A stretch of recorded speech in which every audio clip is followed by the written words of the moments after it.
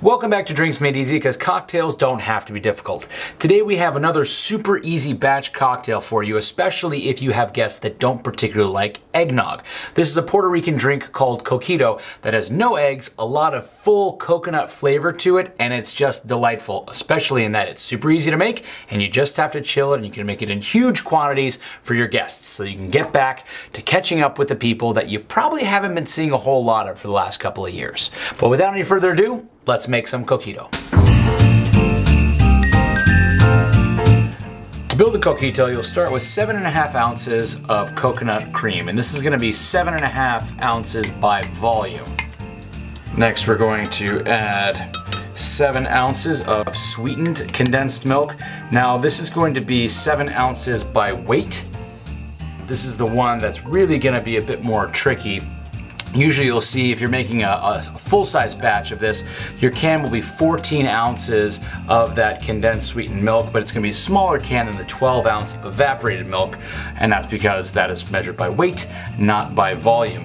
Next we're going to add six ounces of evaporated milk, six ounces of the white rum of your choice. The recommendation is as good of a Puerto Rican rum as, uh, as you have available. Next we're gonna add half a teaspoon of vanilla extract, quarter of a teaspoon of ground cinnamon, an eighth of a teaspoon ground nutmeg, and a sixteenth of a teaspoon of ground clove. This is basically gonna be uh, just two to three small cloves ground up. Then we're just gonna put the lid on and blend it until all of the ingredients are integrated.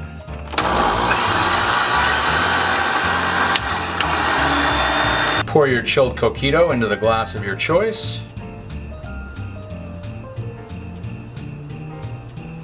And then just add a little bit of fresh grated cinnamon on top.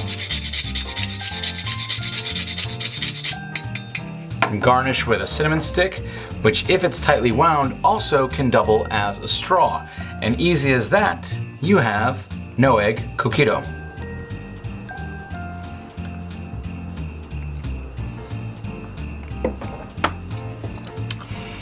That is awesome. If you're somebody who likes a thicker holiday drink but you don't like eggnog, check this out. It is fantastic. It is packed full of flavor. And because you can batch it, it makes everything so much easier. It's been a rough couple of years and we hope that you are able to be with your family this holiday season.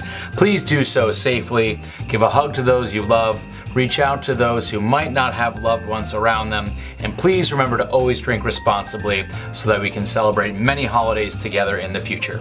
Cheers from Drinks Made Easy.